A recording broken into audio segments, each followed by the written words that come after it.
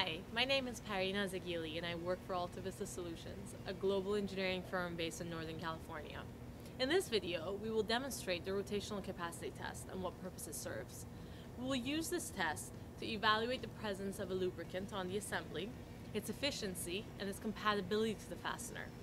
This test is an indication of whether the nut will damage the bolt after the assembly has developed its desired pre-tension load. Now let's go check it out. Here we are with my colleague Kevin Waring. He'll be helping me with the rotational capacity test.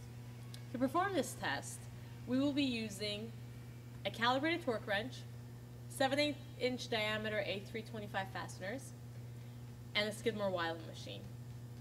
Two forces will be measured in this test, torque and tension. Torque is the amount of effort you need to turn the nut, but tension is the force that causes the elongation of the bolt that produces the clamp load in the steel. We use the Skidmore machine to measure the tension while the torque wrench is used to tighten the nut. First, we will measure the length of the bolt from its head to the end of its shank. This measurement is required to determine if the long bolt test or the short bolt test should be used. For a 3 inch long bolt, the long bolt test will be used.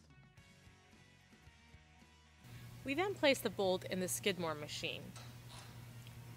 Make sure to install the nut on the bolt such that the first 3 to 5 full threads closest to the bolt head are between the nut face and the bolt head.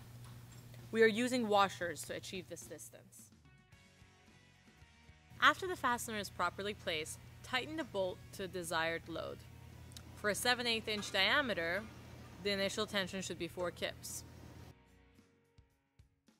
Next, mark the bolt, the nut, the outside of the turning socket, and the Skidmore faceplate with a marker. These marks will help us verify how much more the nut must be tightened.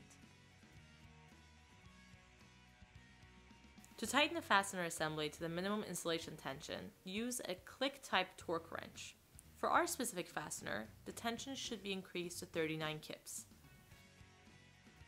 Before using the torque wrench, make sure that your dial is set to zero. After this step, verify the torque required to turn the nut further.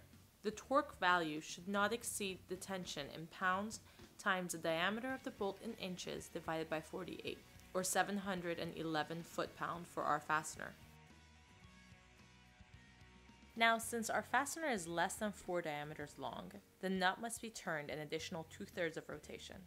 Use this Skidmore faceplate and torque wrench socket markings for reference. Here we measure 600 foot-pound. Record the measured tension.